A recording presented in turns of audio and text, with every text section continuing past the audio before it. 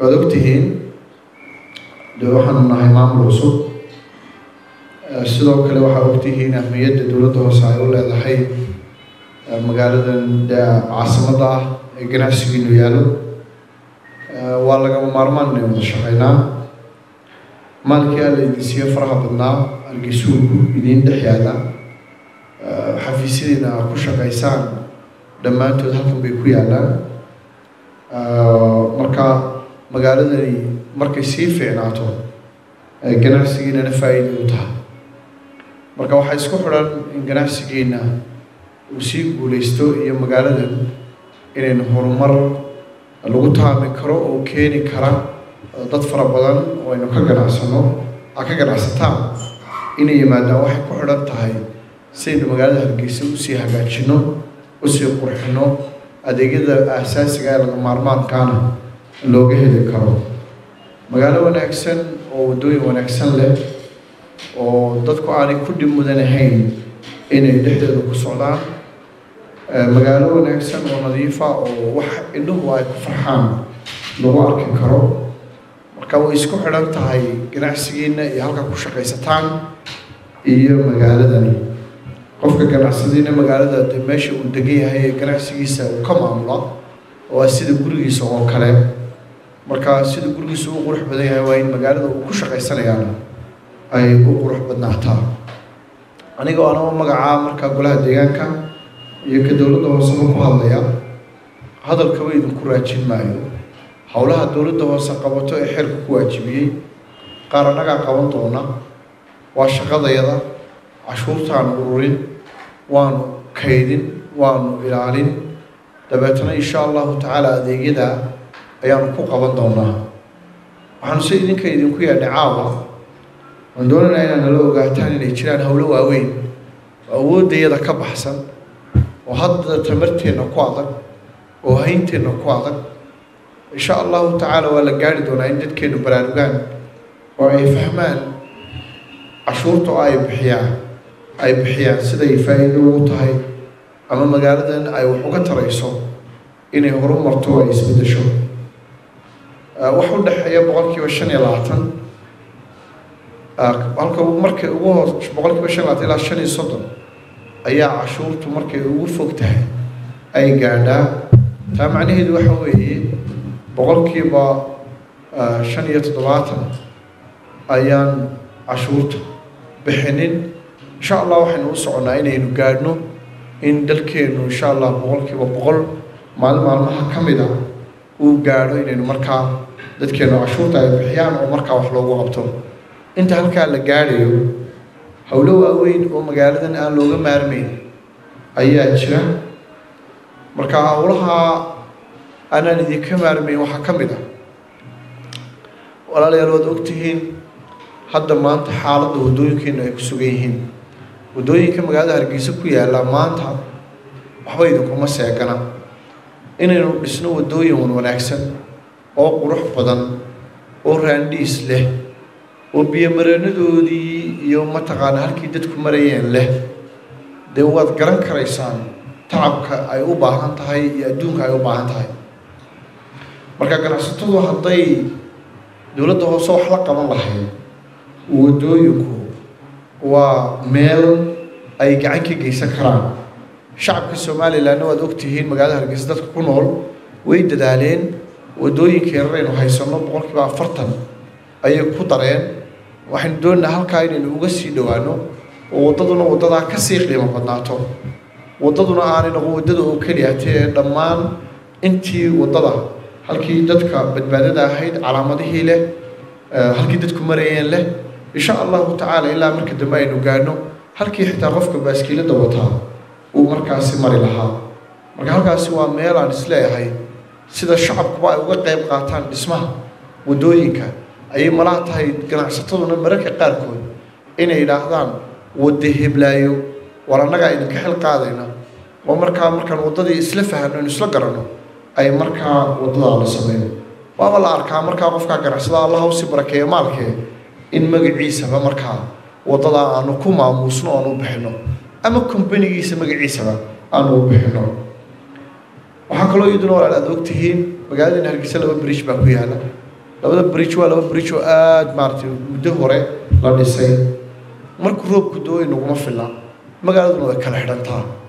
Waxaa hubaala kala xidhanta magaaladu markay kala xidhanto in dhaqaalihiina ay saameyn ku yeelato. Ama meelihii meheradihiina waaweyn ay ku yaaleen in adeegba loo soo doonan kari waayo. Marka arrinta labaad aynu is leenahay magaalada hargeysa maanta laba bridge ma ma wadayaan. Waxaynu u baahanay bridgeyo badan inaan dhisano marka arrinta bridgyaduna dee waad garan kartaan lacagta ku baxaysa waa sawiran kartaan maaha wax dowladda hoose ay ka badheeri karto waa iyadu keligeed markaa ay qaban karayso. Marka iyadana waa meel aan is leeyahay ganacsatadu gacan way ka geysan karayaan labada arrimood baa ugu waaweyn. Markaa anagu aanu isleenahay malaa ganacsatadu waa inay gacan ka geystaan. Annaguna markaa haddii aada gacan howlaha ka geysataan waxaanu ilaahay idinka baryaynaa in maalka alla idiin sii barakeeyo. Oo inta aad geliseen in kaloo ka badan alla idin siiyo. Arrimaha ka soo hadha labada arrimood waaweyn aan idinla wadaagnay iyagu laftigoodu waxay u baahan yihiin weli meel aanaan anagu iskaga wada filayn laakiin waanu u dadaalaynaa inaanu iskaga filaano dowladda hoose ee wax badan laga filayaa gaadiid ahaan haddaad eegto qalabka waaweyn macduudaadka waaweyn ee u baahantay in waddooyinka ku banayso maxaan ku dhahdaa haddii ilaahay nimankeeda leeyahay ay ku hawl gasho qashinka ay ku gurto way wada kooban yihiin. Waa waa sababta aanu ugu baahno markaan ololayaasha samaynayno inaanu idinka idiin baaqno oo markaa gacan aad ka geysataan laakiin arrimaha yaryar insha allah cashuuraadkeenna ayaa inaga filaan doona. Kuwa idiin baryi mayno laakiin waxaan caawa doonayaa inaan idiin sheego war arrinta biyomareennada iyo waddooyinka iyo beriisho cusub saddexdaa arrimood laydinka maarmi maayo. Ganacsataa taatiin qaarkood waynu wada qaban qaarkoodna waxaanu idinka filaynaa insha allahu tacaala inaad sadaqa ka dhigataan oo ganacsada ama shirkad ama maal qof gaari leeyahay la geliyo. Annaguna insha allahu tacaala markay hawshaasi dhammaato dee waanu ku maamuusi doonaa hawshaa weynee qofkaasi keligii qabtay in ama kombanigiisa ama magaciisa markaa loo bixiyo oo taariikhda markaa uu sidaa ugu sii suntanaado waxaanu markaa idin odhanayaa waxa weeye kulankeenani wuxuu daaran yahay saddexdaa arrimood in ganacsatadu wax nagala qabato. Waad ogtihiin dadaallo badan baa socda waxaan doonaynaa dadka inaan wada gaadhno warkayguna gaadho marka insha allahu tacaala arrintaas baanu rabnaa dee inaad ama wax iskaga noqotaan ama keli keliba aa ugu calool adeegtaan oo gacan aada uga geysataan. Si markaa magaalada hargeysa ay u noqoto magaalo wanaagsan oo markaasi aada ku ganacsataan dad badanna markaa ay noo soo degaan insha allahu tacaala intaasaan doonay inaan idin soo gaadhsiino fariintayadu waa intaa waxaa intaa uun aan raacin lahaa inaanu idiin ahaanayno insha allahu tacaala qaar. Mar walba halka wax marayaan iyo halka wax inoo marayaan idinla socodsiiyaan